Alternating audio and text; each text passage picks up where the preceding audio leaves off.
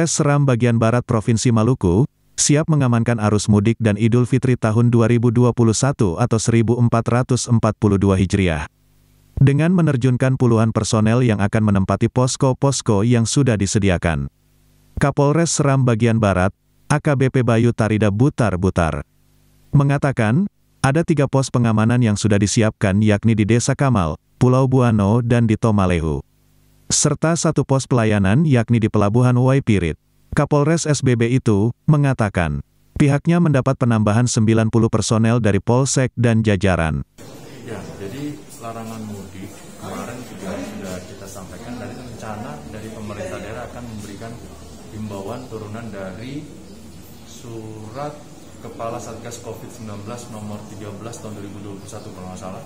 Nah, nanti rencana akan dibuatkan himbauan gitu. Namun memang kalau kita lihat potensi kerawanannya kalau untuk masyarakat Kabupaten Seram bagian Barat ini yang perlu kita antisipasi adalah masyarakat atau warga yang mudik dari luar yang masuk ke dalam. Nah ini yang perlu kita antisipasi sehingga tadi kita juga sudah sampaikan kita koordinasikan pemerintah daerah untuk bisa memperketat jalur-jalur masuk baik itu nanti di pelabuhan Waipirit maupun di pelabuhan-pelabuhan yang diduga ada uh, penumpang-penumpang gelap yang masuk ke wilayah Kabupaten Seram bagian Barat. Operasi Ketupat bertujuan memberikan rasa aman dan nyaman pada masyarakat yang menjalankan salat Idul Fitri dan terus aktif memutuskan penyebaran COVID-19 di Kabupaten Seram bagian Barat.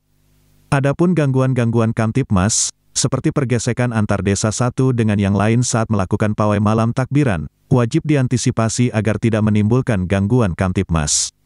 Soal larangan mudik, Kapolres mengatakan siap membantu pemerintah setempat untuk memberikan imbauan penerapan protokol kesehatan.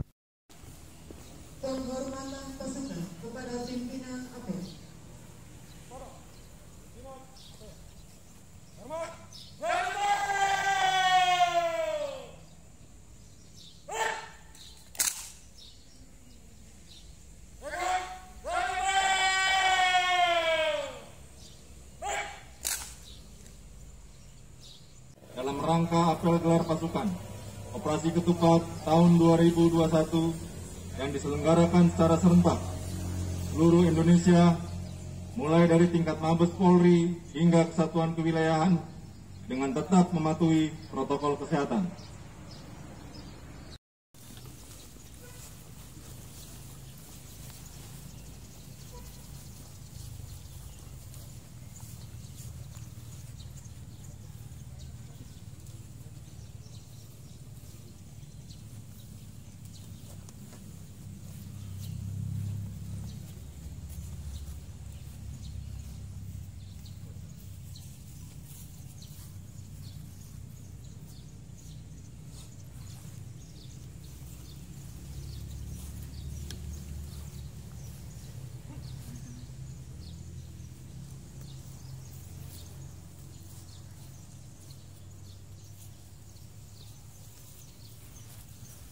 Dari Seram bagian Barat, Provinsi Maluku, M. Fitra Sunet, melaporkan untuk Monologis TV.